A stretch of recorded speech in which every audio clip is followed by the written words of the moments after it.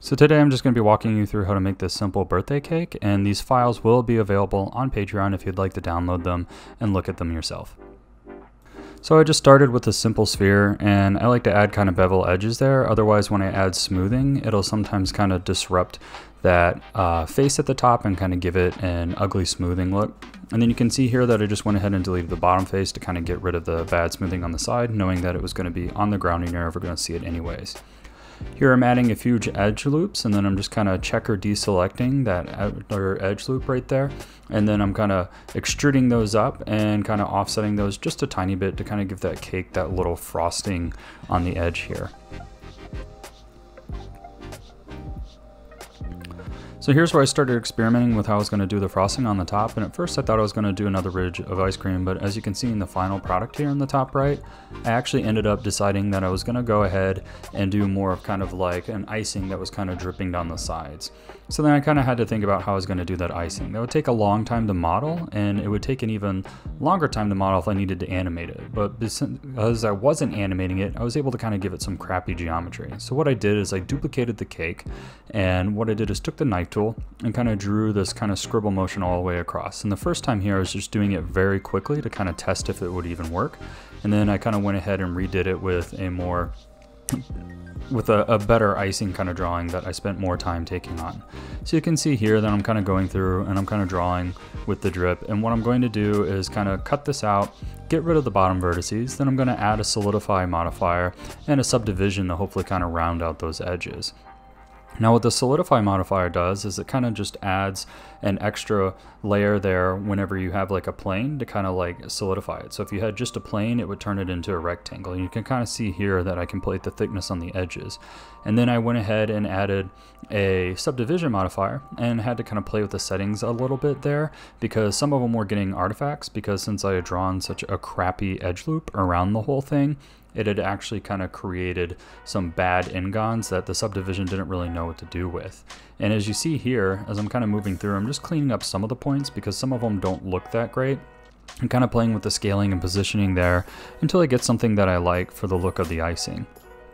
After that, I wanted to add a bit more decorative elements, and this is where it's really important to kind of think about what you want to do with your design in terms of contrast and color and I wanted to add these kind of cherries around the top on top here to add a brighter color so that I could do a red knowing that I wanted something to kind of complement and contrast the pinkness of my cake that I kind of had in my mind and I spent a lot of time kind of playing around maybe doing a circle array on the top but I actually decided that it was just quicker to go ahead duplicate it there and then rotate it around the 3D cursor.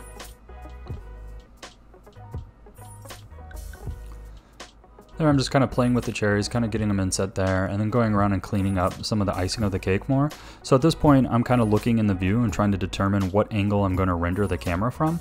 And that's why I'm kind of cleaning up the icing only in certain areas. So go ahead and play here. So here I'm going ahead to put the eyes onto the character and initially here I just did some spheres and thought they were too round so I flattened those out a bit later but you can see what I'm doing now is kind of playing with the icing around those eyes and here I actually kind of went ahead and deleted one of the drips and kind of went in and did some manual retopology there to kind of get the look I wanted there in between the eyes knowing that this was going to be the important angle for the camera. Now for the eyes, I just created two spheres, and then for the little highlights on the eyes, I just created little spheres on it. And that's because I'm going for a claymation look, and I knew that the clay wasn't gonna give me an actual eye highlight, so I just went ahead and manually put that in there. If you're familiar with any of my look at work at all, you know that I do that a lot in my characters. Here I'm just using the knife tool to kind of draw in my mouth and you can see that as soon as I kind of go back to smoothing it just creates a lot of artifacts in the smoothing and the normals there. So now what I'm going through is just kind of going in and drawing some other edge loops.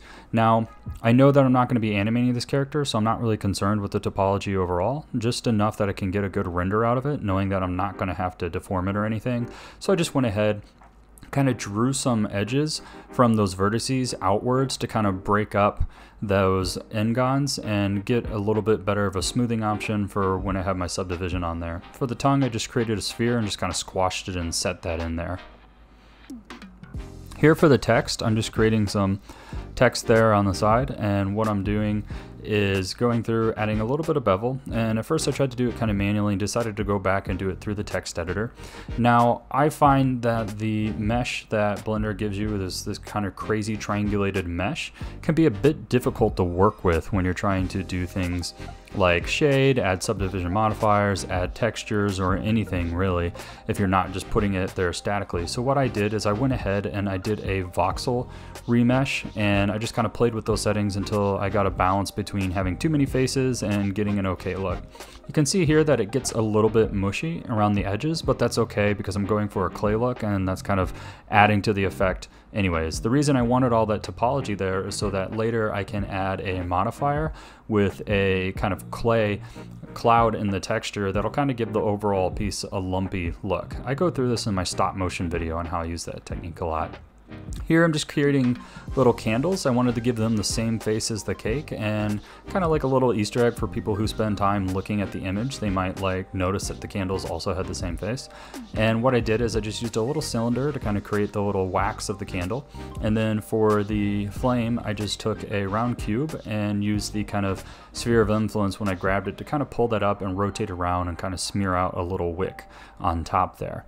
For the eyes, I just went ahead and pulled the eyes from the cake and scaled them down and put them up there. Here you can see I'm appending my clay shader. I think it's really important that whenever you're doing a lot of projects always kind of save and keep them organized so that you can pull things in later and reuse them. And because of that, I'm able to produce art a lot quicker because over time I've kind of built up a library and my own resources that fit my style.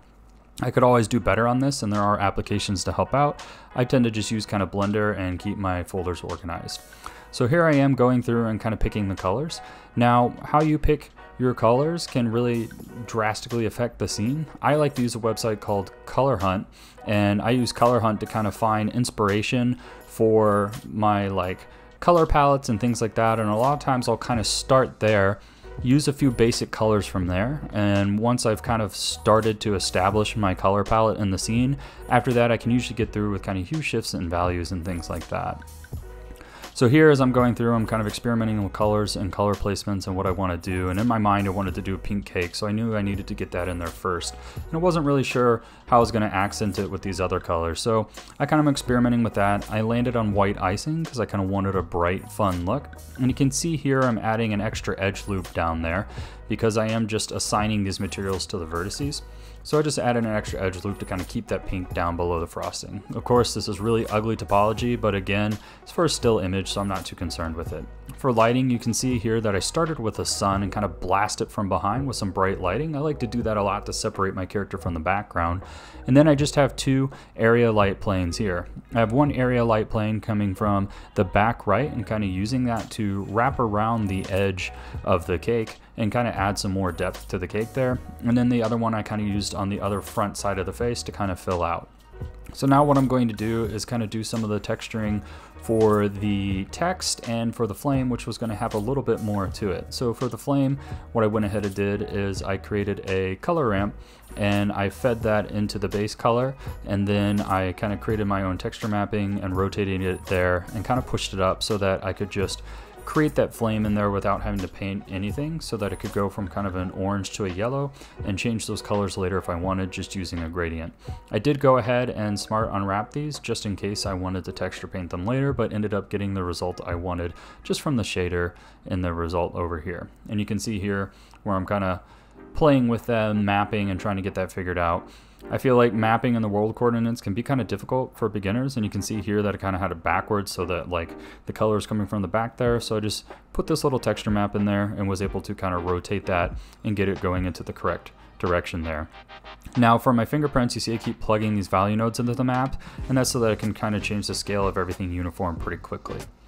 Now for the text, I wanted to add a little bit of texture instead of just having a flat color. So I went over here to Illustrator. You could do this in Blender, you could do this in Inkscape, you could do it really in any software. You can also download a texture from online.